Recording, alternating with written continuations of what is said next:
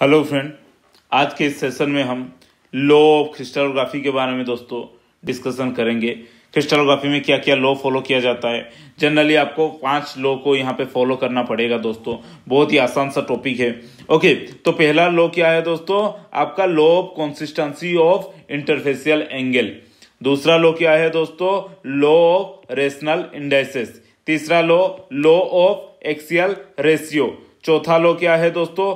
Law of crystallographic axis and fifth law क्या है दोस्तों? कॉन्सिस्टेंसी सिमेट्री ओके तो यहाँ पे आपको पाँच लो को फॉलो करना होगा दोस्तों। पहला लो क्या है? Law of consistency of interfacial angle law of consistency of interfacial facial angle दोस्तों, दुनिया में आपको कोई भी एक वेराइटी ऑफ़ क्रिस्टल मिल रहा है, दोस्तों। दोस्तों, एक एरिया पे आपने क्वाज आपको मिल गया सपोज़ ओके क्वाज आपको मिल गया। इस क्वाज क्रिस्टल का, दोस्तों, आपको इंटरफेसियल एंगल स्टडी करना है, दोस्तों। ओके इस क्वाज क्रिस्टल का, दोस्तों, आपको एक इंटरफेसियल एंगल स्टडी करना है। और दूसरा, एक दुनिया में कहीं पे भी क्वाज आपको मिल रहा है ओके ये सपोज़ आपका एक क्वाज क्रिस्टल मिल गया दोस्तों क्वाज एक्स्ट्रागोनल क्रिस्टल है।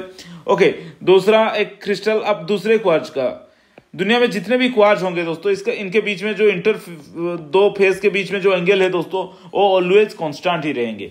ओके okay, तो इसको क्या बोला जाता है? कॉन्सिस्टेंसी ऑफ़ इंटरफेसियल एंगल क्योंकि दुनिया में हर एक सेम वेराइटी का क्रिस्टल का दोस्तों में भी उसका साइज़ बड़ा हो सकता है छोटा हो सकता है लेकिन दोस्तों उनका जो इंटरफेसियल एंगल है दोस्तों वो सेम ही रहेंगे। ओके तो इंटरफेसियल एंगल क्या रहेंगे दोस्तों? आपको सेम ही देखने को मिलेंगे। कोई भी, यहाँ पे अगर आप जिरकोन मिनरल ले रहे हो दोस्तों।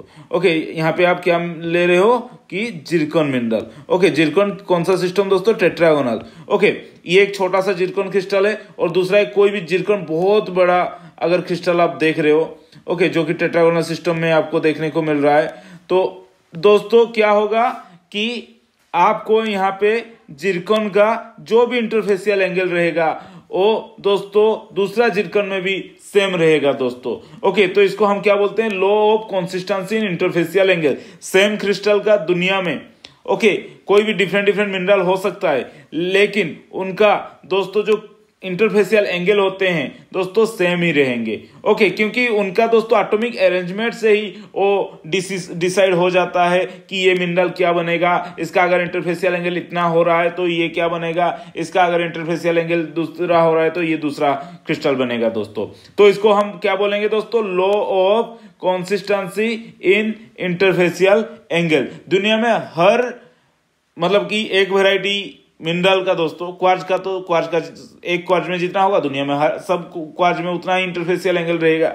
ओके जिरकन में, एक जिरकन में जैसा है, दुनिया के दूसरे भी जिरकन में उतना ही इंटरफेसियल एंगल आपको देखने को मिलेगा दोस्तों। उसके बाद हमारा law of law of rational indices rational indices दोस्तों, ये क्या है? एक मिनरल पे दोस्तों, एक मिनरल है, यहाँ पे डिफरेंट डिफरेंट आपको फेस देखने को मिलेंगे।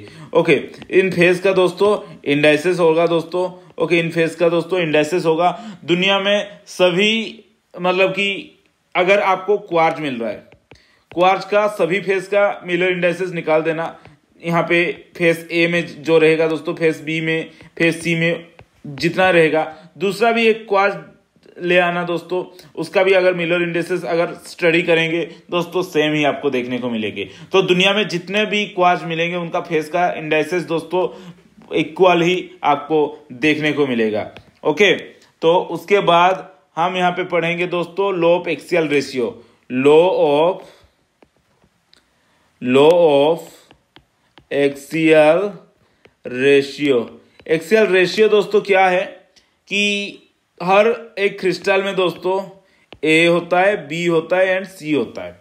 ओके अगर आपको ए बाई बी निकलना है, और बी बाई सी निकलना है, और सी बाई ए भी निकलना है, दोस्तों, एक क्वार्ज ये है दोस्तों, इसका अगर एक्सेल रेशियो आप निकाल रहे हो, और दूसरा भी एक क्वार्ज का अगर एक्सेल रेशियो निकाल रहे हो ए बाई बी निकाल रहे हो, दोस्तों कॉन्स्टेंट ही आएगा। ओके एक क्वार्ज ये है, दूसरा क्वार्ज दोस्तों ये है, इसका अगर ए बाई बी निकाल रहे हो दूसरा, एक क्वाज का भी ए बाई बी निकाल रहे हो दोस्तों, आपको क्योंकि इनमें दोस्तों, अगर ये कॉन्स्टेंट नहीं निकल रहा है तो ये क्वार्ज और ये दूसरा कोई मिनरल हो सकता है। क्योंकि इसका दोस्तों, जितना यूनिट लेंथ में कट करेगा, उसका उसी रेशियो से ही आपको यूनिट लेंथ में यूनिट लेंथ में दोस्तों कट होता हुआ नज़र आएगा दोस्तों।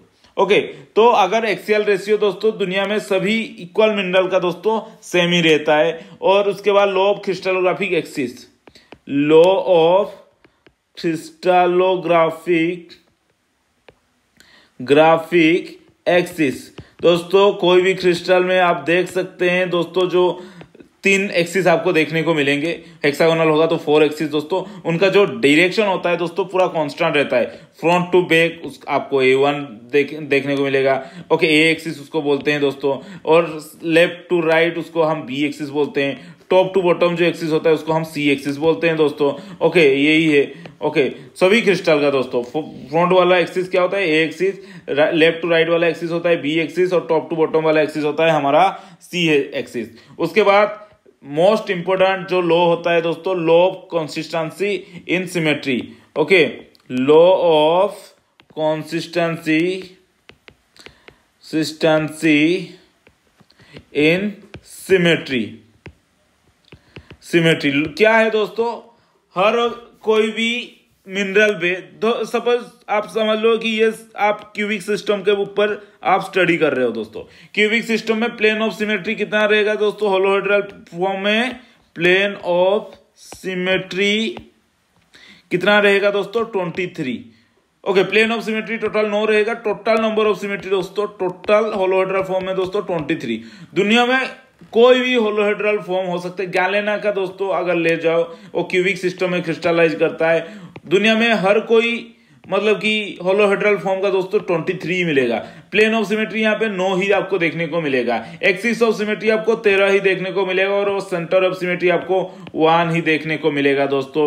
यही है। अगर आप टेट्रागोनल सिस्टम के ऊपर स्टडी कर रहे हो तो टेट्रागोनल सिस्टम में टोटल सिमेट्री कितना होता है दोस्तों? होलोहेड्रल फॉर्म में फाइव फाइव और one. Okay eleven total number of symmetry आपको देखने को मिलेगा। कहाँ पे दोस्तों टेट्रागोनल सिस्टम में? दुनिया में किसी भी टेट्रागोनल सिस्टम आप हेक्सागोनल में देख सकते हो होलोहेड्रल फॉर्म में। तो दोस्तों, ये जो होता है, अगर क्यूबिक आपको देखने को मिल रहा है क्यूबिक सिस्टम आपको देखने को मिल रहा है तो तेईस सिमेट्रिकल एलिमेंट अगर आपको टेट्रागोनल सिस्टम देखने को मिल रहा है गोनल सिस्टम अगर देखने को मिल रहा है दोस्तों, आपको इलेवन नंबर ऑफ़ सिमेट्री अगर आपको हेक्सागोनल सिस्टम देखने को मिल रहा है तो आपको 15 नंबर ऑफ़ सिमेट्री ये दोस्तों कॉन्स्टेंट ही रहेगी होलोहेड्रल फॉर्म